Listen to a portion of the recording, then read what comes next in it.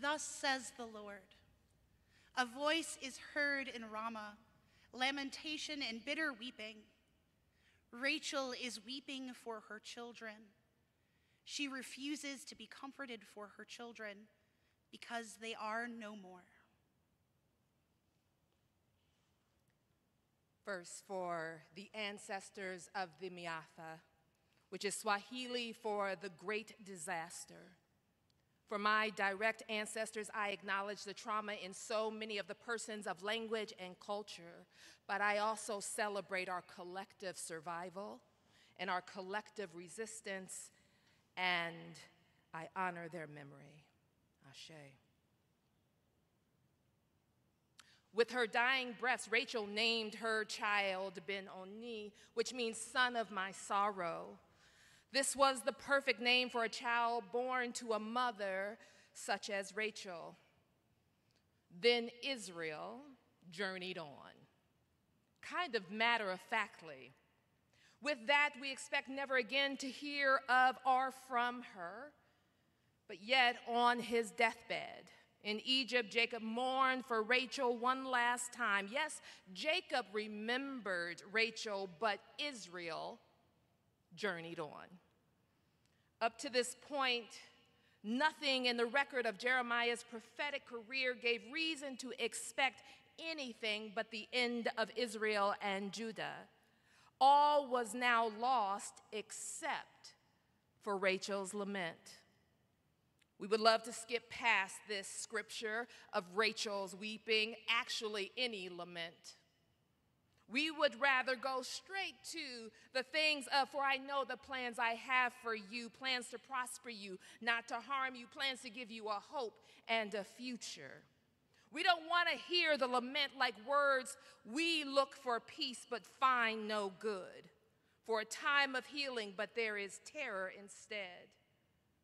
We don't like the blue and broken notes of Scripture. We don't like to ask, is there no balm in Gilead? Or why is God so present a commander in our time of prosperity and so very absent a help in a time of trouble?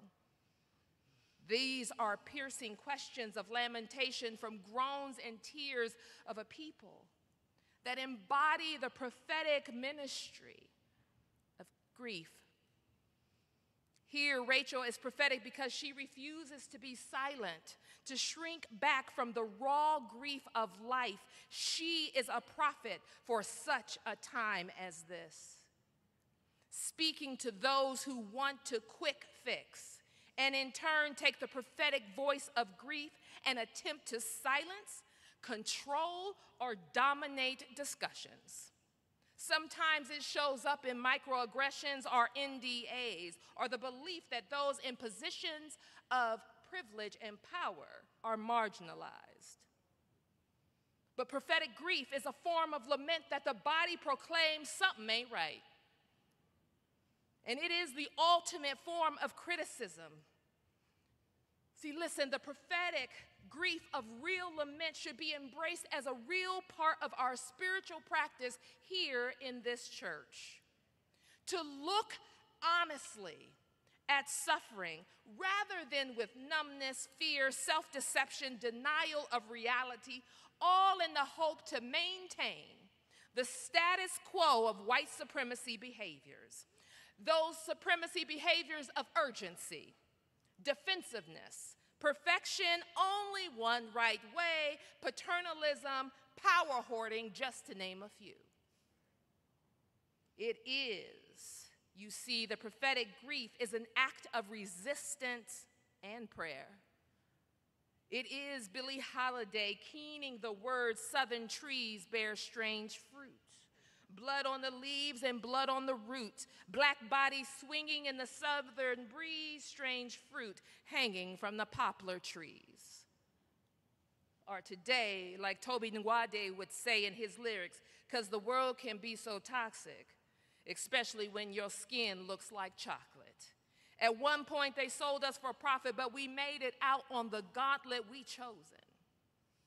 See, Billie and Tobe are not singing to cause the audience to fall into despair, but to empower all who hear the lament to make real and lasting and powerful change. These artists, like the marginalized communities, the vulnerable, lament like Rachel today, saying, I will not allow you to cover your ears or your eyes.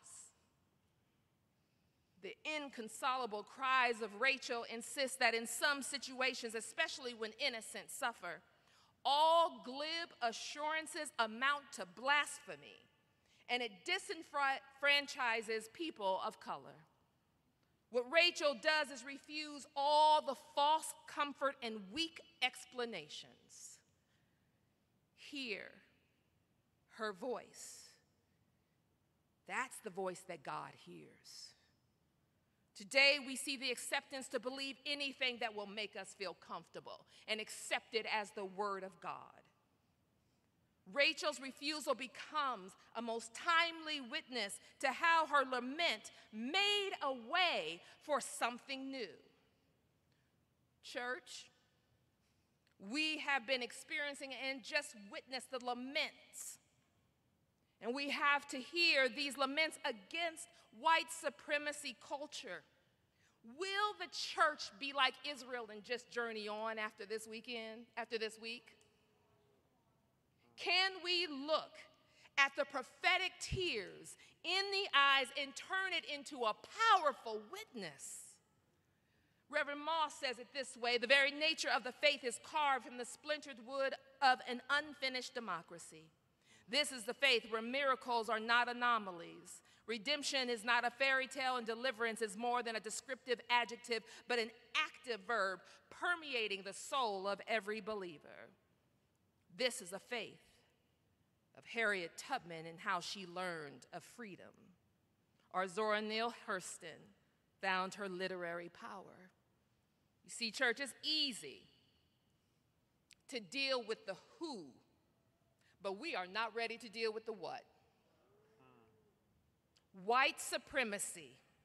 On May 14th, Tops Grocery Store, Buffalo, New York, in the upstate New York Senate a young man drunk on the wine of white supremacy, high on the ideological opium, radicalized thinking, killed Roberta, Margus, Andre, Aaron, Geraldine, Celestine, Heyward, Katherine, Pearl, and Ruth.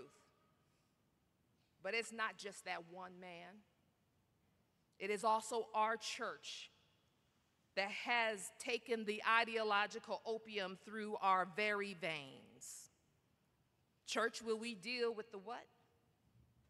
Or will we, like the people of Israel, just journey on? Ashe, ashe, ashe.